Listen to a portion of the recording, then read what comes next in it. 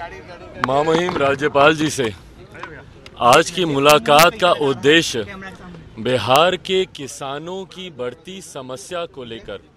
उनसे ये मुलाकात हुई। आज लोक जनशक्ति पार्टी रामविलास के किसान प्रकोष्ठ के द्वारा एक दिवसीय, एक बड़े धरने का आयोजन किया गया और उस धरने में किसानों के तमाम ज्वलंत विषयों को उठाने का कार्य किया गया। देखिए, बिहार एक किसी प्रधान प्रदेश है। और जिस तरीके से इस प्रदेश के किसानों को आज की तारीख में हाशिए पर पहुँचा दिया गया। एक तरफ़ जहाँ हमारी केंद्र सरकार, हमारे प्रधानमंत्री आदरणीय नरेंद्र मोदी जी का लक्ष्य था कि 2022 तक किसानों की आय को दुगना करना, उनसे जुड़ी हुई समस्या का स्थायी समाधान पहुंचाना, वहीं अगर आप बिहार प्रदेश देखें, जो कि कृषि प्रधान प्रदेश होने के बावजूद यहाँ पर जो किसानों के हालात हैं। देखिए, मैं कोई भविष्य वक्ता नहीं हूँ, पर मैं अभी से मैं बता सकता हूँ कि भाई महीने, डेढ़ महीने के भीतर बिहार आधा बाढ़ से डूबा रहेगा। बिहार में पानी आएगा, कटाव के माध्यम से घर घर, गाँव गाँव, खेत खेत तक ये पानी जाएगा। क्यों नहीं इसका स्थायी समाधान ढूंढा जाता है? नदियों को जोड़ने की योजना पर हम लोग को कार्य करने की ज़रूरत है इंटरलिंकिंग और रिवर्स ताकि हम लोग सुखाड़ और बाढ़ की जो समस्या है उसका स्थायी समाधान हम लोग ढूंढ सकें।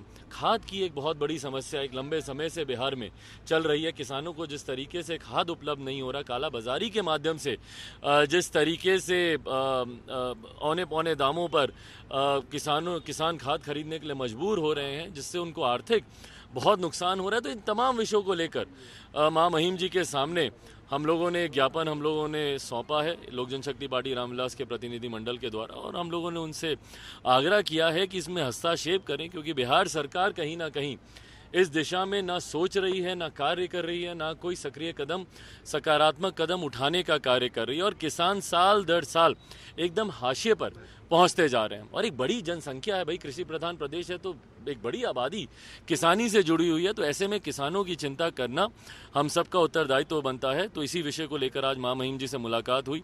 सकारात्मक आश्वासन उनके द्वारा दिया गया। उन्होंने भी इंटरवीन करके जिस घर परिवार, जिस पृष्ठभूमि से वो आते हैं तो ज़रूर माँ महिम भी किसानों की समस्या से पूरी तरीके से वाकिफ़ हैं। उन्होंने भी सकारात्मक संकेत दिए हैं कि इस दिशा में ज़रूर इनकी तरफ़ से कुछ पहल होगी। आपने एक घोटाले की बात कही। है जो गंगा नदी का पानी राजगीर और फल्गु नदी में ले जाने के बाद उसमें घोटाले की बात की है क्या है वो मामला और क्यों घोटाला? देखिए, स्थानीयों के द्वारा जिस तरीके से इस योजना में, अधिकारियों के द्वारा जिस तरीके से भ्रष्टाचार की बातें सामने आ रही हैं, और मुझे लगता है कि इन तमाम विषयों पर जाँच होनी चाहिए, पर जाँच करेगा कौन? दिक्कत यही है हमारे प्रदेश में कि जाँच के नाम पर सिर्फ़ लीपा पोती होती है। बड़े से बड़े कांड हुए हमारे प्रदेश में, बड़े से बड़े अपराध हुए और तमाम विषयों को सिर्फ़ जाँच की।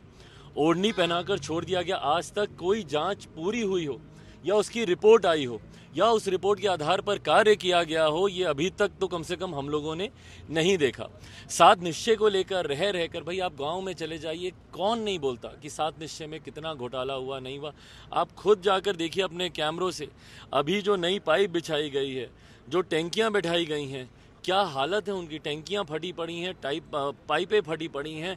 न ये नली गली के नाम पर जिस तरीके से सड़कों को खोद कर वहाँ पर रखा गया है तो सात निश्चय हो या तमाम ये योजनाएँ बिहार की विडम्बना ये रही है कि जनहित में कम या जनता को लाभ देने की सोच या दृष्टि से कम योजनाएँ बनती हैं, अधिकारियों की सोच और दृष्टि को ध्यान में रखते हुए योजनाएँ ज़्यादा बनती हैं। इसीलिए बिहार में आप किसी भी आम बिहारी से पूछ लीजिए क्या बिना घूस, बिना भ्रष्टाचार के कोई एक सरकारी काम है जो होता है? नहीं होता है। इस पर मैं चाहता हूँ कि मेरे मुख्यमंत्री गंभीर हों, कई बार मैंने कई ऐसे विषयों की जानकारी उनके समक्ष मैंने रखी, क्योंकि मेरे प्रदेश के मुख्यमंत्री होने के साथ साथ वो मेरे गृह मंत्री भी हैं। पर उनसे जिस सकारात्मक पहल की अपेक्षा मैं रखता हूँ, वो अभी तक नहीं पूरी होने के कारण आज माँ महिम जी से मुलाकात हुई और उनको जिस राजगीर जिस विषय का हम लोग ज़िक्र कर रहे हैं, इसकी भी जानकारी हम लोगों ने माँ महिम को दी।